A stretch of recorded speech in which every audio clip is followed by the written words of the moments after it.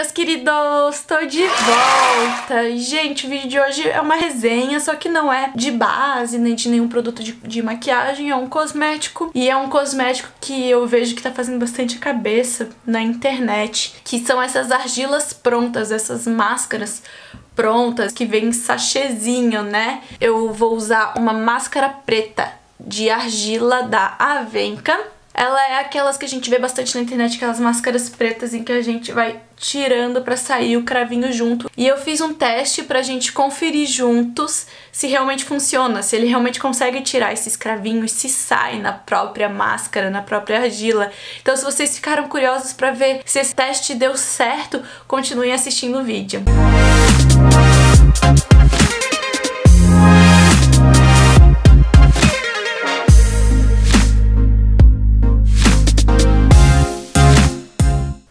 Ok, então já abri o pacotinho. Começar primeiro com a máscara removedora de cravos, máscara preta de limpeza facial, argila preta. Vou aplicar aonde eu sei que... Gente, isso é muito gosmento. Por exemplo, aqui no nariz é onde tem os cravinhos que mais me incomodam eu sei que se eu tentar espremer eles, dói demais, que é uma área que dói muito pra gente espremer. Vai ser onde eu quero ver se a gente tem sucesso. A sensação de usar ela é que, sabe quando a gente era criança a gente brincava com cola, cola tenaz, eu acho? Ela é meio peguenta, assim. Enquanto eu tô usando, eu sinto uma leve ardênciazinha, sabe? Mas é só quando ela tá molhada. Depois que ela começa a secar, mas ela faz muita sujeira. E assim, ó, o meu pensamento, porque depois que ela seca a gente arranca ela mesma, né? É igual cera, sabe? Depilação com cera. A gente tem que fazer tipo uma, uma abinha pra poder tirar ela.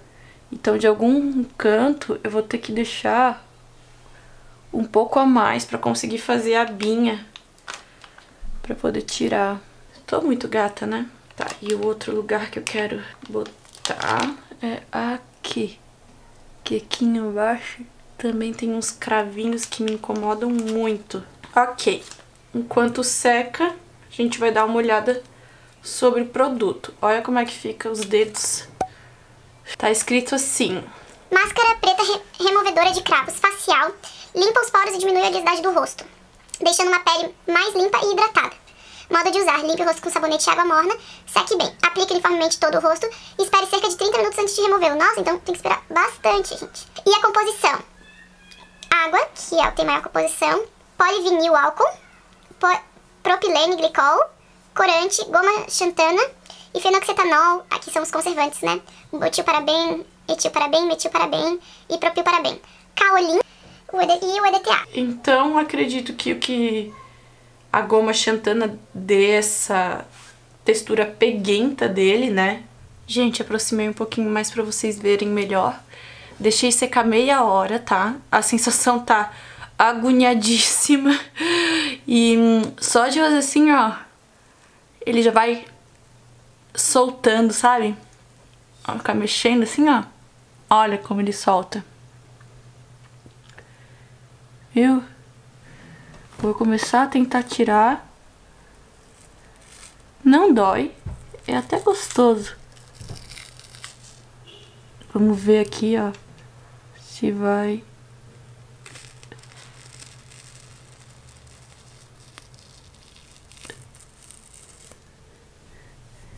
Deixa eu ver. Olha, eu consigo ver que ele tirou algumas coisas contra a luz. Mas eu não sei se isso é cravo ou se é pelo. Não sei se vocês vão conseguir ver. Acho que vocês não conseguem ver, né? Mas eu acho que ele tira mais as penugens, o pelo mesmo, do que cravo em si. Tipo, se eu fizer assim, eu consigo ver que os pelinhos saíram. Hum, que tá molhado ainda. Deixa secar. Essa foi a parte onde eu botei mais. E agora? Vamos ver se a gente consegue ver, dar uma olhadinha. Vocês conseguem ver? Como é que ficou a pele?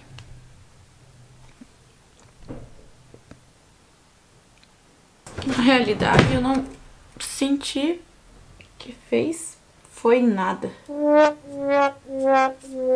Além de dar uma trabalheira desgraçada de trabalhar com isso que faz muita sujeira. Não senti uma mudança absurda. E eu ainda consigo ver meus cravinhos todos. Bom, enquanto seca essa parte de baixo, queria conversar um pouco com vocês sobre o, a composição desse produtinho, né? Já que a gente conversa bastante sobre composição, principalmente em resenha de base, queria conversar um pouquinho com vocês sobre a composição desse produtinho. Então, é, o que eu achei interessante era o que eu suspeitava. Realmente o kaolin é argila. E o que eu achei engraçado é que aqui eles usam o um nome assim, limpeza facial com argila preta. Agora tá todo, quase não dá de ler, mas tá escrito aqui com argila preta, né? E na realidade o kaolin é um pó de argila branco. E eu vi que eles usam corante aqui, porque tá aqui CI 77266, que é um corante. Então acredito ser um corante preto que eles usam para mudar a cor da, do, pó, do pó da argila, que na realidade é um pó de argila branco. A argila que tá aqui não é argila preta, é argila branca com corante.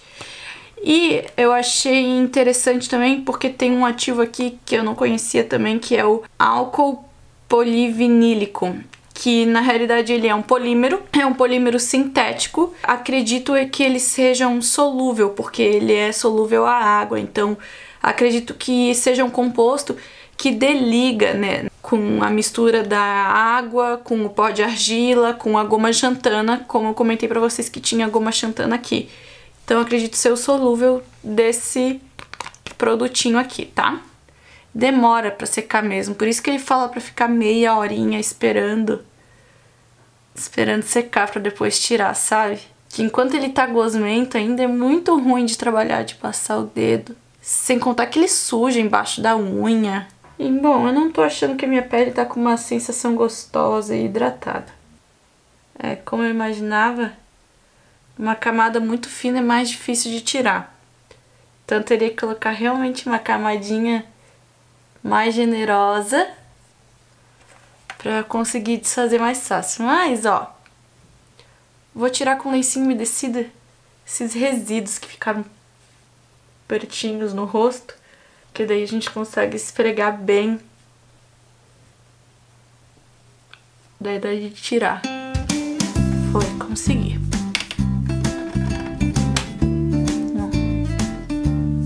É isso, gente. O que vocês acharam? Não me apaixonei, não, por essa máscara de argila pronta, né, já fabricada.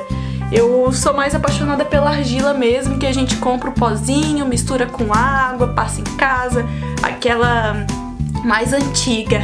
Essa daqui não fez a minha cabeça. Vocês já usaram isso aqui?